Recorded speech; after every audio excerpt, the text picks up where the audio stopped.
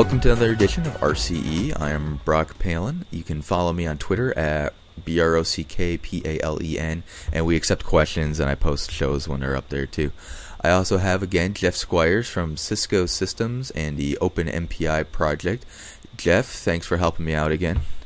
Yeah, you also post on your Twitter whenever you're mad at your Sprint account as well, too. Uh, yes, yes, I do that too. Something like that. uh, hello, everybody. Jeff Squyres from Cisco Systems, and um, can have a look at my blog. It's out on uh, blogs.cisco.com. It's the performance blog. I talk about MPI and general HPC things out there. Always willing to hear your comments and questions on there.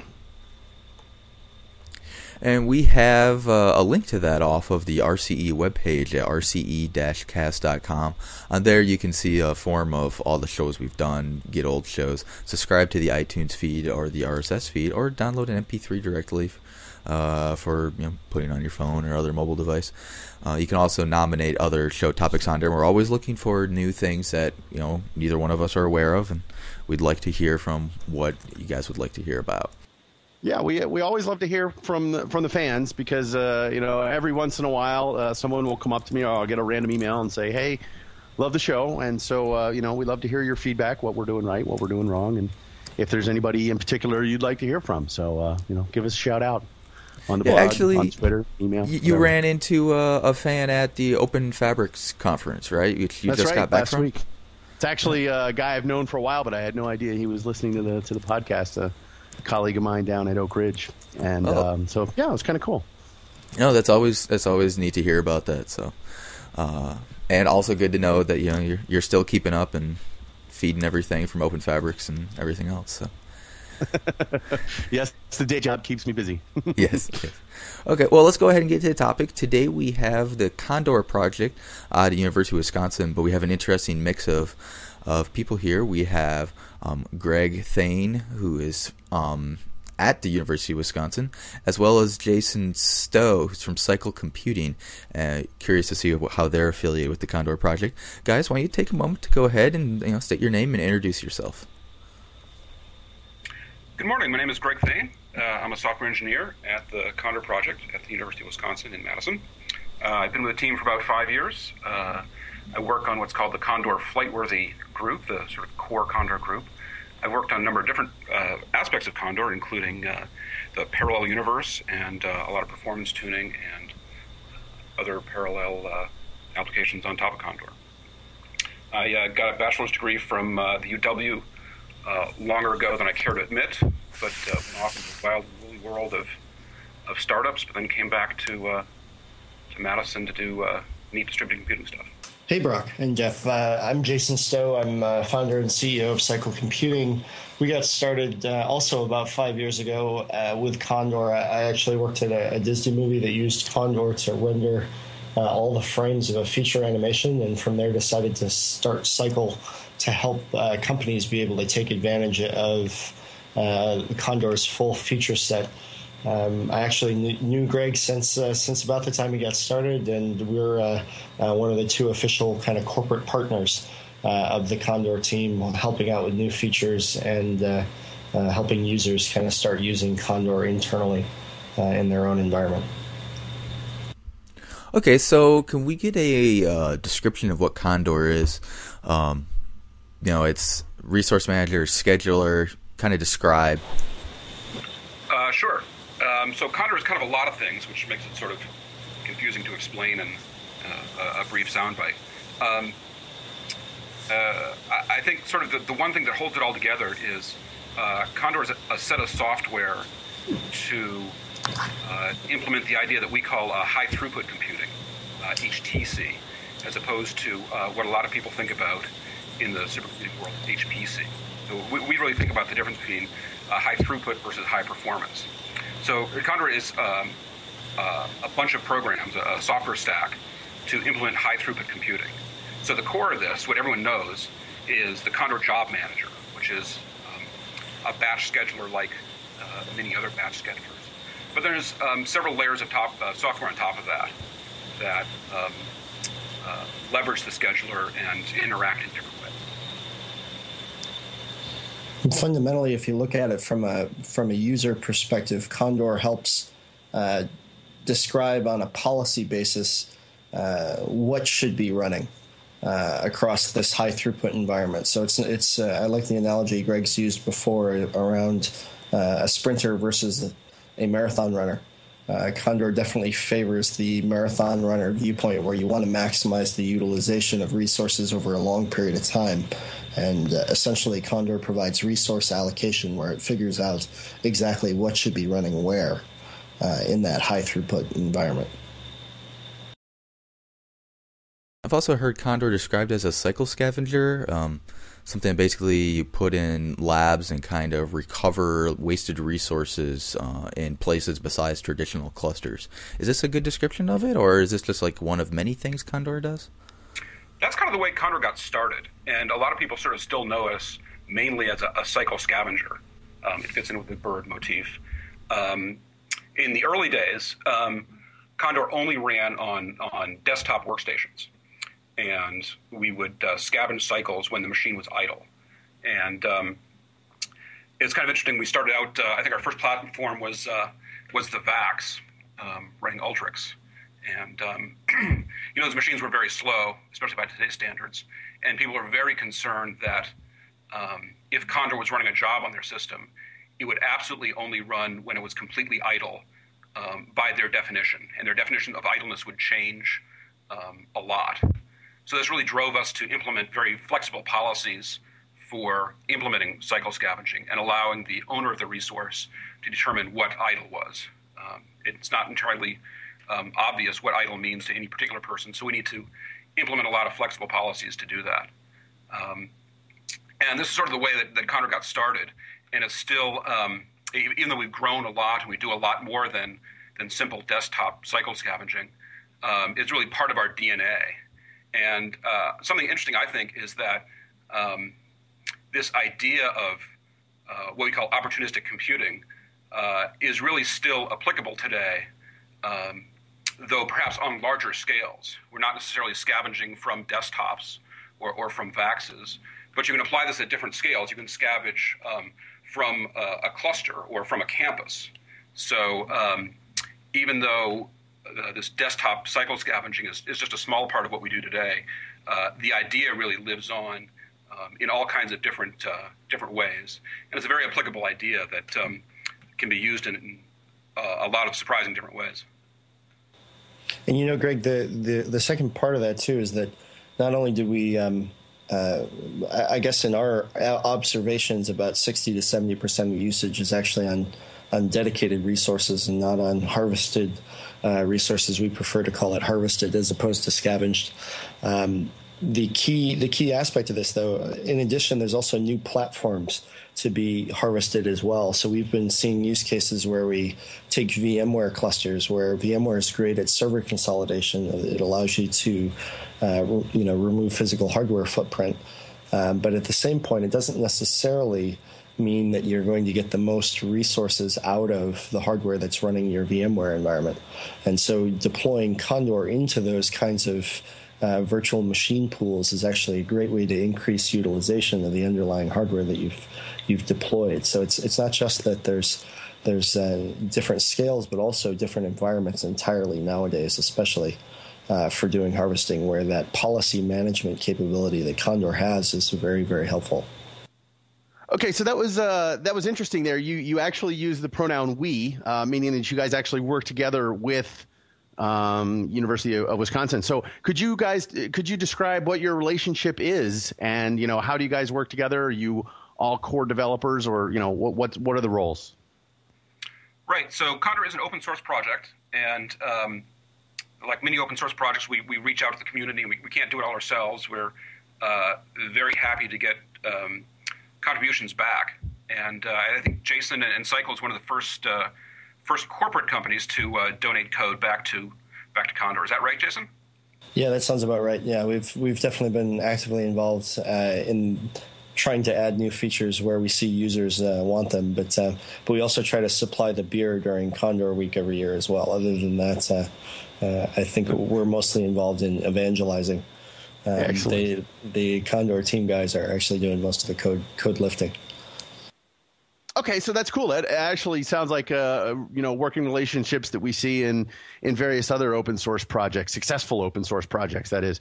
Um, could you you already gave one example of where you know using Condor in places that people may not traditionally assume it. You know, particularly if they're if they're stuck in the initial impressions of Condor from a couple years ago of of the desktop harvesting and whatnot. So you mentioned virtual machines. What are some other scenarios that you see people deploying Condor? in today? How, how do people use Condor in, in modern environments? Right. There's a lot of flexibility uh, in deploying Condor. So there's a lot of sort of neat ways that people uh, do it, which you might not think of uh, off the top of your head. Um, continuing with the bird theme, uh, one of the neat ways we deploy Condor is something we call glide in, which is uh, just part of Condor, the, the execute side, the daemons that run on the execute side, which can be submitted as a job themselves to another batch system. So in this way, you can sort of um, dynamically deploy and, and, make kind of a, a Condor overlay network. So um, if there's another batch system, or or often um, uh, a set of batch systems, and perhaps they're um, different batch systems, you can't submit to them all in a in a homogeneous way. You can submit Condor and build an ad hoc Condor pool with glidein. So that's one of the neat ways that you can uh, you can deploy Condor. Yeah, we've also seen folks do uh, uh, Condor as a way of, of doing power management. So the, the most recent uh, two versions, two stable series of Condor, 7.2 and 7.4, have included uh, different functionality for powering down resources uh, when there's very little activity on them. So you can actually take advantage of Condor's policy engine to say if this desktop's you know not doing anything, we'd actually like to uh, power it down between the hours of you know 8 p.m. and, and 6 a.m uh, so that it's hibernated, and then Condor can reactivate the machine. And, and one of the unique things about this is that you get the power management features that that saves people money right up front and saves power. It's a very way of doing good way of doing green computing. Uh, but at the same point, when there's work to be done, you have a a, a grid scheduler, a you know a resource manager already installed and, and ready to accept work. So you can actually use it as well to run calculations. And that's been kind of a backwards view, I guess, of uh, things we've seen before. Most of the time, people install Condor to run calcs. Uh, and then other features are a benefit, but the uh, but the green computing sometimes turning out the other way. So are you saying that uh, sometimes people are using Condor literally just for making sure their machines get shut off and turned back on for different things, and not necessarily being used as a resource manager and scheduler? Well, it's it still is a resource manager. It's just a it's a resource manager in terms of consuming power. Um, and generally, in each of those environments, we've always seen them run some form of calculation in the end. Uh, it's just that uh, uh, the initial motivation may be more of using an open source policy engine that can actually, uh, you know, manage whether machines are, are hibernated or not is a, a useful feature in and of itself um, you know, outside of uh, being able to, to direct the proper workflow to work there at the right time. Uh, both of those are kind of related, but but still different use cases. Okay, so what's the most common way you see Condor used today? Is it um, you said that you're seeing mostly actually dedicated hardware. Uh, is it set up more for serial jobs? Does it have the ability to help an MPI launcher? Uh, you know, multi-core accessing different types of specialty hardware like accelerators? Is Condor aware of all these things?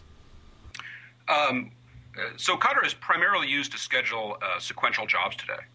Uh, we have the ability to schedule parallel jobs, but um, that's not really uh, in our strike zone. Um, primarily, I think uh, Condor is used to schedule serial jobs, um, often on dedicated or or a mix of dedicated and opportunistic uh, resources. Um, there's been some neat work done um, at, at, Marquette and, and, some other places to run GPU jobs. So, because of our very flexible uh, uh policy language, we can describe both jobs and machines that uh, can access GPUs. So, that's kind of an interesting uh, thing we're going forward to do. Now, you mentioned earlier, um, well, you, you, just said a second ago that uh, parallel jobs are not really in your strike zone, but you also did say earlier in your in your background that you've done a, uh, some work on the parallel universe in in Condor. So could you explain like uh, does it sort of work or are there shortcomings that make it not too workable in, in real world use case scenarios or you know what what's the current state of affairs there? I have to ask, you know, my bias being an MPI guy. So right. Um, so Condor can schedule uh, MPI jobs. Uh, the scheduler is pretty um, uh, simplistic. Uh, you either get FIFO or uh, first fit. Uh, it's not nearly as, as sophisticated as like the, the, Maui or Torque schedulers. Um, so we think that um, these serial jobs are, are really where our emphasis can be. But if you especially have a mix of parallel and serial jobs, maybe um, uh, you, you, want to backfill one with the other, that's potentially a place Condor can play. Um, I think if you just have parallel jobs, Condor is probably not the scheduler for you. Uh, again, this really gets to um, our high throughput computing worldview. Um, high throughput computing is really mainly about uh, running serial jobs. Okay, fair enough. Um, one follow up question on that, though. The he, uh, so a, a, lot of what Condor does, or at least my perception of what it does, um, has been you know the migration of serial jobs around, or at least that was a significant part of Condor's history. Is that still how people do this, or has the migration towards more dedicated resources kind of obviated the need to do that?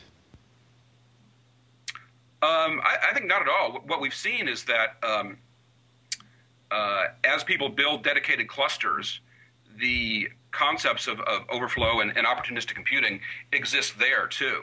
Uh, for example, very frequently on campus, you'll see um, several departments each having a, a rack of computers, um, uh, and the usage is very um, bursty.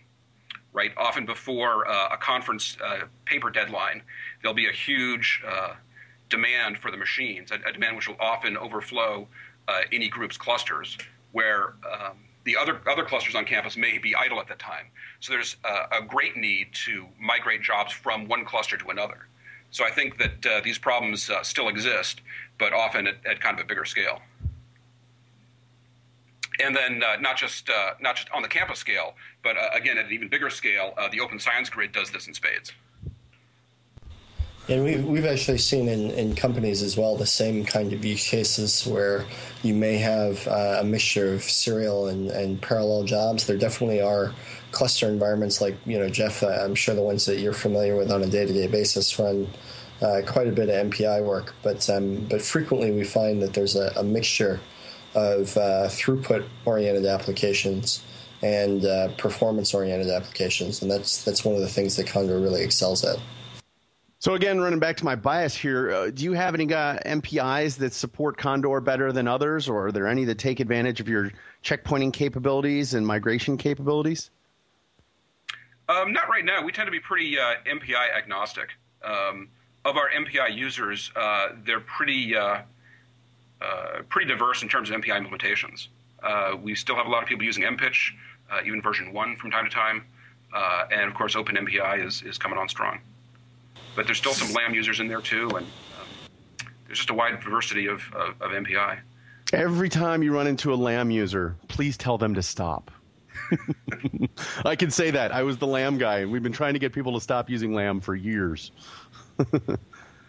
yeah, we've we've seen the same thing with uh, OpenMPI. It's been adopted quite a bit, and, and thankfully, in the corporate environment, I have I've yet to really come across a real uh, hardcore LAM user.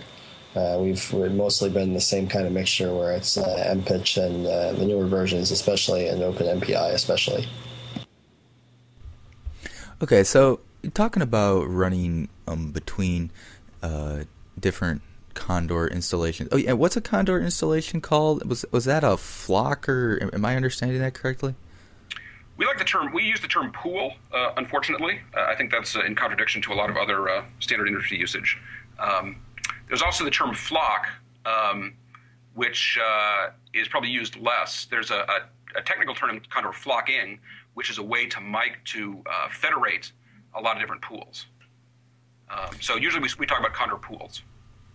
Okay, so a Condor pool is normally just like a set of compute hosts that talk to a single server, and flocking is kind of moving jobs between servers and federating these servers together. That's right. Yeah, and there's there's a couple of other differences between a lot of schedulers from a scalability standpoint. So most you mentioned a, f- a bunch of execute nodes. uh, talking to a single server. There is generally at any one point in time a single central manager. That's the, the piece that does the negotiation between jobs that need to be run and resources that are available to run them. However, there also can be multiple schedulers.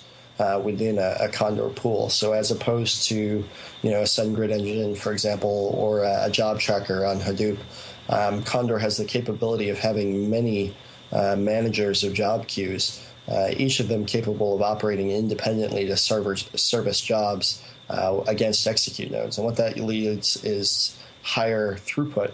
Uh, so you have many schedulers potentially coordinating job flow, as well as being able to do um, uh, execution of jobs uh, in greater volumes. Because again, if you need to be able to handle um, more jobs than a single scheduler can have, you can actually have tens or hundreds of schedulers in a pool uh, with no issue.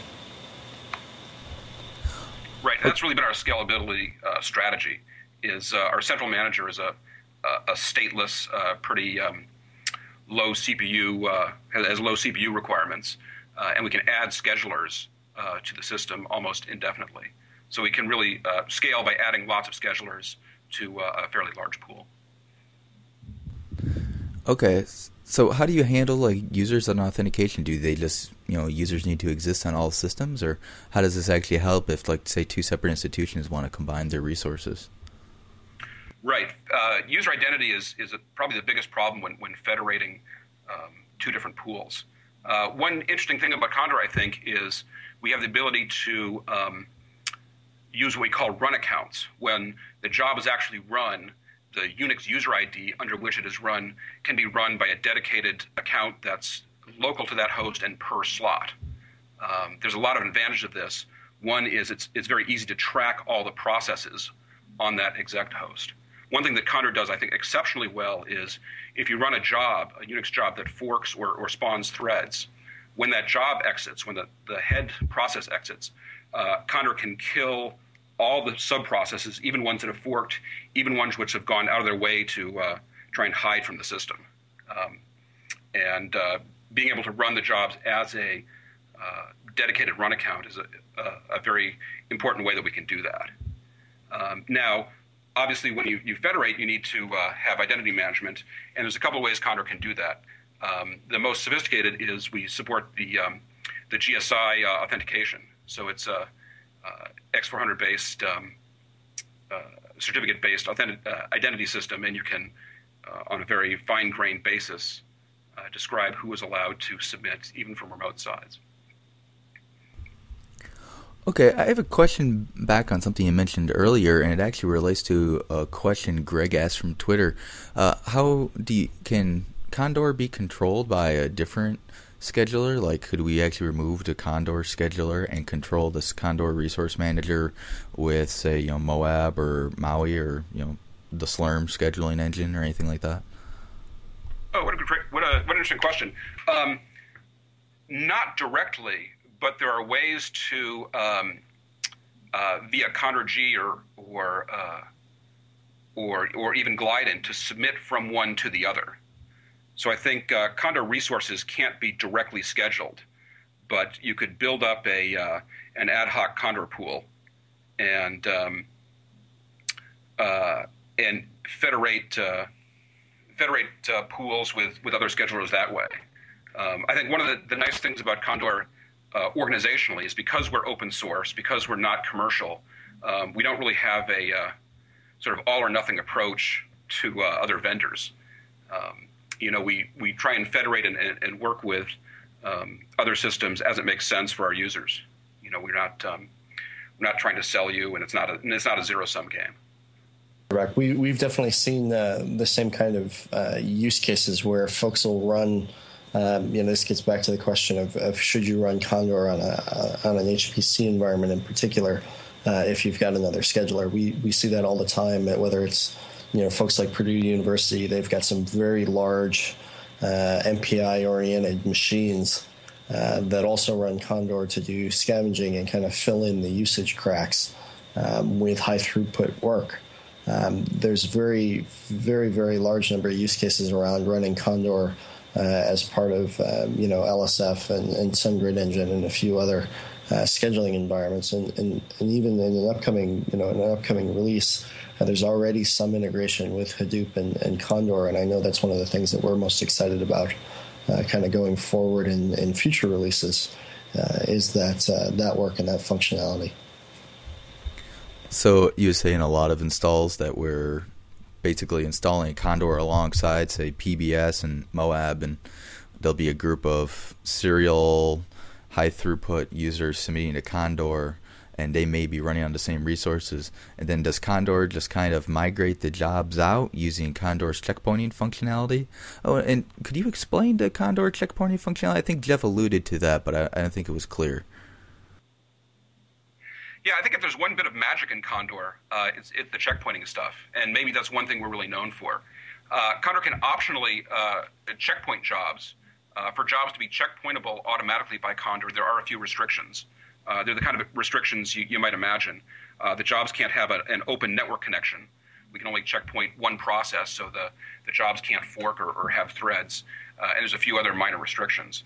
But, but if your jobs fall into these categories, then you can uh, link them with the Condor checkpointing library, and you get uh, processed checkpointing and migration for free, which, which, I think is really neat. And this is sort of the way we started out. Um, and with this checkpointing, uh, although your jobs don't have to checkpoint, Condor can uh, periodically save the, the, contents of their memory, uh, send them back to a checkpoint server or the submit machine, and then restart them elsewhere. Uh, I, I, think this is uh, really what, what, Condor is known for. Uh, however, not all jobs are checkpointable. And a lot of people with this high throughput or this sort of backfill or opportunistic computing um, run what we call vanilla jobs, non checkpointable jobs and uh, just let the system kill the job when it's um, uh, when it needs to preempt.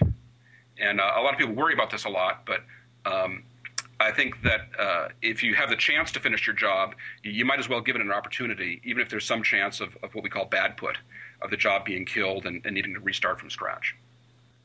So how did you guys how did you get here? So we've talked a little bit about you know the beginnings of Condor with the you know the, the desktop harvesting and whatnot. But how did you how did you get to where you are today? Because this is a very successful project that has existed for, gosh, I, I when did you guys start? I mean, this is well over ten years now, right, or, or fifteen.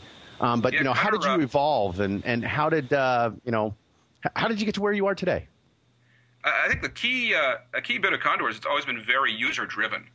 Um, Condor started, I'm embarrassed to say this, in 1986, so it's really been going a long time, and, and there's a lot wow. of uh, a lot of different aspects of uh, of Condor. I think this uh, being user driven is really how we how we migrated. We started out on campus, and we had a lot of um, uh, very influential uh, users in the computer science department. And then we moved on to, to physics and then off to um, uh, other sites. And, and I think when we start getting commercial users, and maybe Jason can talk to this a little bit, that, that's really, um, I think, where a lot of our, our features started to bloom and, and we got a lot more traction when it, it, wasn't just a university project, but, but people making money uh, depended on Condor for their livelihood. Yeah, I know when we worked on the, the Disney production for The Wild, it was a, a feature animation.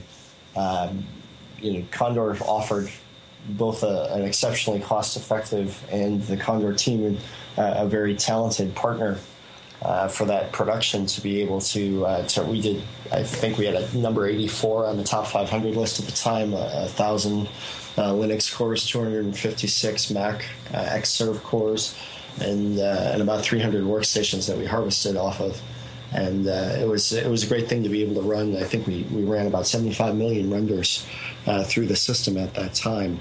And since then, you've seen a lot of a lot of companies actually. So odds are, if you have a, uh, an annuity, a, a, retirement package that that includes annuities, um, you're you're most likely the risk for hedging on those annuities is calculated using Condor. Uh, J.P. Morgan Chase has several thousand cores that they've described uh, running on Trader desktops that they harvest every night. Um, I know the, the annuity risk is generally on a dedicated server model. Uh, we've also got folks like uh, Eli Lilly and Pfizer that have done, you know, essentially drug target and uh, other forms of uh, uh, drug discovery pipelines, including next generation sequencing. We've we've seen a lot of work being done on, on sequence analysis. Um, you mentioned working alongside PBS. The guys at uh, ConocoPhillips have done work in that area around Condor and, and other schedulers uh, cooperating. Electronic Arts uses it for, for running uh, renders across uh, uh, different servers and workstations. So there's uh, quite a lot of different traction in different industries where people are people are adopting it commercially to actually do production work. So you've mentioned it twice now, and so I, I therefore have to ask. You said the Condor, you know, your your origins were uh, when you were using it to render a feature length film. Can you can you say which one? Yeah, it's the it's a film called The Wild. It's um, a uh, uh, I, am actually forgetting what year it was actually released. Now it was in I think 06 uh, that it was it was released. It's uh, it's great for kids if you if you follow. Um, but uh, but yeah, it was it was very uh, the rendering was absolutely beautiful in the movie. The guys that uh, worked on on all aspects of the pipeline uh, uh were great, but we had a lot of really big requirements. So you know, millions of jobs uh, for crowd scenes, for example, were a somewhat common event where you had to be able to handle a very massive scale. We added accounting groups into Condor as a, a feature in order to to meet our prioritization requirements. So essentially, uh, most schedulers operate on uh, uh queues or on users as the uh, priority element. And in Condor, you can actually make it any arbitrary uh, designation you want. So you can you can create groups of, of users based on, for example, projects, or, or in our case, um, we we grouped jobs by uh, team that was working on them. So uh, so for example, lighting versus character filing. Um, another option is to, to use uh, any arbitrary unit of work. Uh, you know, for example, in a movie, a sequence and shot are, are kind of the designation of of any individual camera move. So you know, you get five or six seconds of footage that are the camera pointing at one character, then pointing at another character. That's a shot um, that that could also be a, a, unit that you want to prioritize based on this. Some shots are more important than others, for example, uh, because maybe the director has to look at them at the end of the day. So that that was a, an example of a feature that we kind of bore in there based on on heavy usage. Okay, and it, so we digressed on this a little bit, but I, I wanted to go back to one point. Um, the uh, the evolution of, of, Condor from an academic project to be a you know a real full fledged real world everybody can use it kind of package and I just want to say, at least in my experience, um, it's actually fairly rare um, that there is an academic project whose target is actual users, and it's not only a vehicle for papers, but it's actually, uh, you know, intended to be used in the real world and solicit feedback and research that way. Was this uh, one of the original goals of the Condor product, or did it just kind of just kind of happen that way? I don't think it was one of the original goals, but I think uh, as we developed more of a need to do software engineering, I, I think we realized that um, this is an area that the, the traditional computer science community has really um, not done a good job at. Um, you know, I remember when I was in school, um, every single week I'd write a main, you know, and, and write a program and deliver an executable. And uh, I think I write a main about every 10 years when I'm uh, a, a professional programmer you know and i think uh, what uh, Miron realized is that there's a really strong need to train uh, students, graduate and undergraduate, in a lot of the, the nitty gritty details of, of, software engineering. And I think Condor is a, has, has been a great um, asset for the university for doing this kind of real world software engineering training. So uh, you mentioned Miron there. You want to give a little more attribution? ah, right. Sorry. So that's uh, Miron Livny, who's the PI, and he's the, the the person who came up with the, the, the Condor idea, and he's our head Condor. He's a, a full professor uh, of computer science at the University of Wisconsin, and um, he started the Condor project in '86 and has kept it going since then. And I know from a from a user perspective, uh, uh, Jeff, that that Miron is um, uh, great at, at, both helping us out with new features and, and, trying to make sure that they're structured in a in a way that'll that'll scale across um, you know the different user communities that we have. He he has a, a keen eye for for design, just as a, a you know from a third party perspective. Um, he he very much eat, breathes, and sleeps the the philosophy of of high throughput. Uh, that's something that uh, you know is is I think really unique about him is that he's his vision for uh, for essentially keeping machines busy all the time with the right type of work and in a way that's easily administratable or or, or uh, policy specifiable, if those are words. Um, that's that's something that I, I know he's uh, excels at over and over again. So Condor's been around for a long time. Um, what was what's what's Condor actually written in? Is C C plus plus? Uh, you know, when it was running on VAX, was it some weird assembly or some other strange dialect? Uh, sadly, no. Uh, Condor started out, I think, like a lot of projects of its day in C, and uh, sort of migrated over time to C++. I think today uh, almost all of it's in C++. There's a few uh, C functions lying around. There's the occasional uh, bit of assembly, especially in our checkpointing libraries, to do the really the low-level grunky stuff. And there's a little bit of Java code to interface to uh, some external Java libraries, but but primarily it's C++. Okay, and then what platforms does it actually run on? Uh, one of the common uses I see is actually cyc- um, getting cycles off of Windows machines. That's right. It primarily runs on uh, Windows and Linux, uh, although we do support uh, some of the other other uh, older versions of Unix, but we see uh, less and less demand for that. we also run the Mac, which is becoming more and more popular, especially. Um, to uh, use a, a, Mac laptop, perhaps to submit to uh, a cluster maybe of non-Macs. Uh, when we say we run on these machines, we're very uh, heterogeneous, so uh, you can submit from one kind of machine uh, to a pool of, of, a completely different architecture. this is often common, um, and I think some adjacent stuff has done this, where um, for reliability reasons, you might want to have um, a Linux central manager or maybe a Linux scheduler um, but because your, your jobs may be Windows jobs, you may have a, a, pool of Windows or perhaps a mixed pool of Windows and, and Unix machines. That's definitely a common architecture. We see that one over and over again, especially when it comes to harvesting Windows workstations. The, the use case you mentioned, Brock, that's, that's very common. Yeah, so there was a uh, Condor pool um, in TeraGrid from Purdue, and that thing was actually really big. Yeah, uh, okay. I mean, it's, it's decent size. It's the largest I've ever seen for Condor. It was 14,000 CPUs in that pool. And they were constantly saying how many they had Linux, how many they had Windows, how many they had running Solaris. Uh, what, what's actually the largest Condor install you guys have ever seen? Uh, I think it's kind of hard to measure, uh, especially as we federate pools. Uh, but I believe that, that currently Purdue has the largest Condor pool. And I, I, I think right now they're over 20,000. Um, so we do scale up yeah, actually, uh, actually, they're at they're at thirty plus k right now. I see that. That's how fast.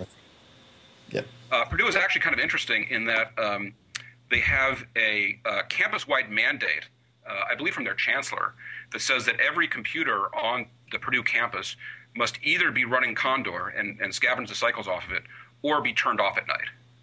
So we think this is a pretty uh, forward-thinking approach to have a very uh, campus-wide directive to uh, to to be more green. All right, so uh, this might be kind of a difficult question to answer, given that you know you support such a, a wide variety of of running environments and scenarios. But just from your personal points of view, what's the strangest use you've ever seen of Condor, or most? You know, strange is not necessarily the right one, but perhaps most unexpected, or wow, I never would have thought of that kind of scenario. Hmm. Um, uh, that's an interesting question. Uh, you know, there's a, uh, a, thing called a Google vanity search where you type in your own name to Google and, and see what comes up.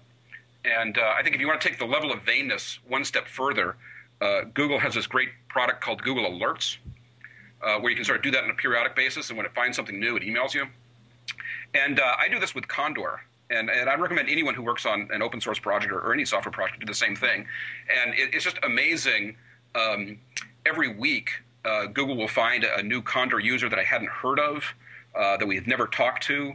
Um, just a couple weeks ago, there was one, uh, a research group in Singapore. And again, this is a group that's never talked to us, never asked any questions on our, our email lists, um, posted a paper wherein they had used Condor um, to analyze various different uh, strategies uh, for their navy to repel pirates around the islands.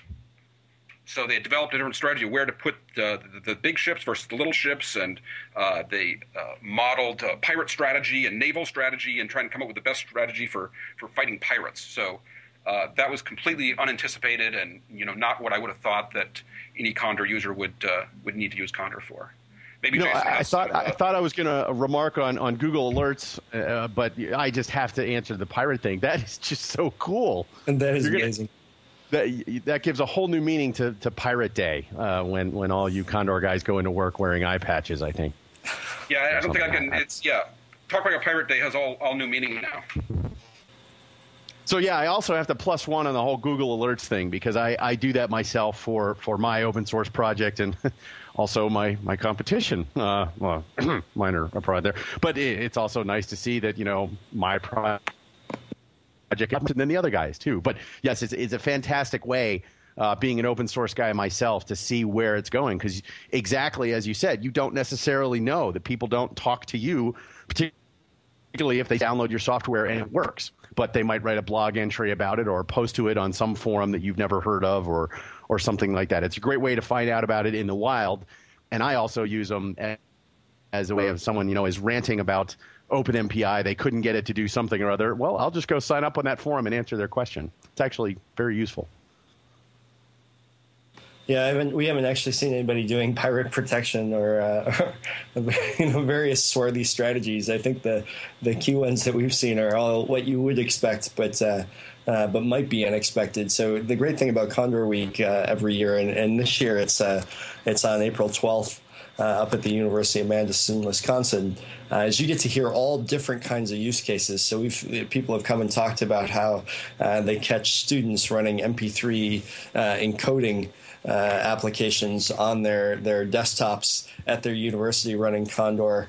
Um, we've also had uh, folks talk about doing uh, song analysis, so taking the you know the net results of, uh, of of audio files and trying to figure out which songs are are near each other. I think the the, the research is is from you know from pirates to uh, uh, to musical similarity uh, and everywhere in between uh, you can imagine use cases. Corporate use cases generally tend to be uh, stuff that, that might seem boring, but is uh, is actually kind of you know real world stuff you use every day. So you know whether it's you know kind of dividing, designing new products, new chips.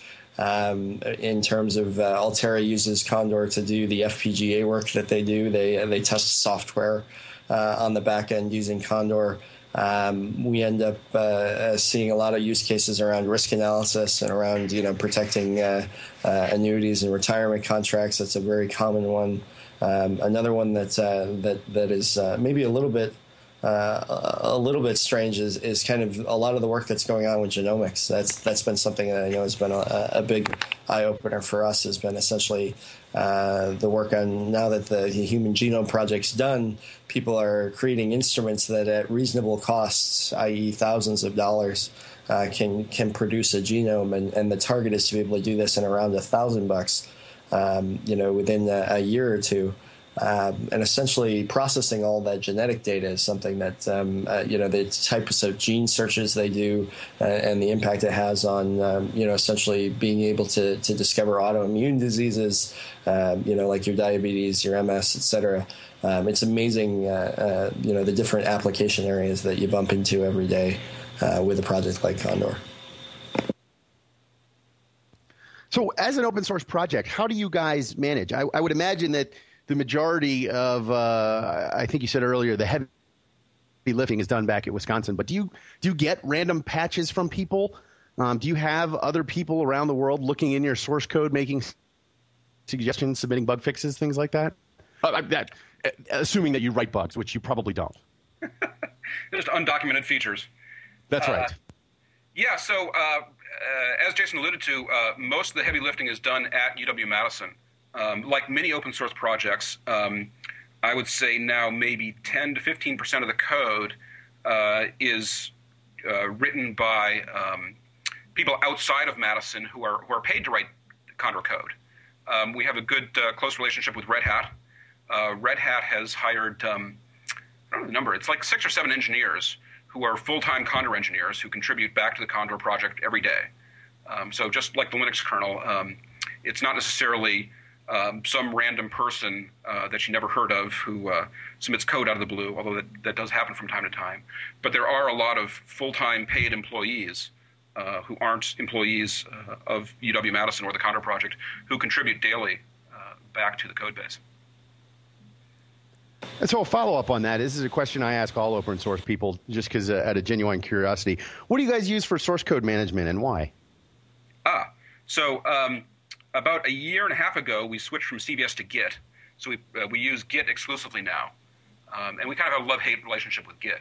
Uh, what do you guys use? so we use Subversion, but we combine it with Mercurial as well. So Subversion is kind of our, our main backend one, but we basically do all branching in Mercurial. So I would say at least 75% of OpenMPI development is, is done in Mercurial and then eventually pushed up to Subversion. But boy, that's that's quite a jump from CVS to Git.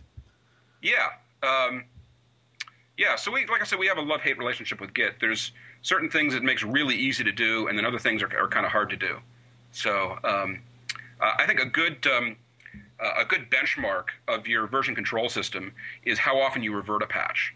You know, I've worked in a lot of places where people are sort of terrified to revert patches, and they, they never do it. And I think um, if you're in that mode, you're not really using your version control. You're you're really just using kind of a a fancy backup system almost. Um, but we do uh, revert patches from time to time, and that's not a big scary um, operation like it might be in in other uh, version control systems. So I think uh, all in all, we, we like Git. Um, it, it's not perfect though. Okay, guys. Well, let's get some contact information for Condor. Uh, is there a mailing list, website, download packages, Cycle Computing's website? Uh, sure. So the um, probably the easiest URL to remember is condorproject.org. Uh, so that'll redirect into a, a, complicated University of Wisconsin site.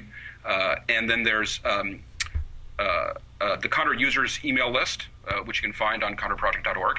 Um, we also have um, a, a, ticketing system. So if you, on the off chance that you find a bug, you can send us um, a, a, bug report, and we will fix that on a best effort basis if you need more contracted support, uh, there are several organizations, uh, including Cycle, that can uh, provide paid support for Condor. Uh, maybe Jason can speak to those. So yeah, Cycle definitely provides uh, support for, for corporations. We can be reached at cyclecomputing.com. We also have uh, management tools that we're actually going to be making downloadable in the coming weeks leading up to Condor Week itself. Uh, to make it very easy to have a you know kind of a business analytics for HPC environments uh, style view into what's going on to very large condor pools. We work with Purdue on their uh, 30,000 plus core environment to uh, to help make that manageable, as well as a lot of the uh, various companies I've mentioned uh, earlier in the broadcast. Hey, so what what's this Condor Week thing? When is it and where is it?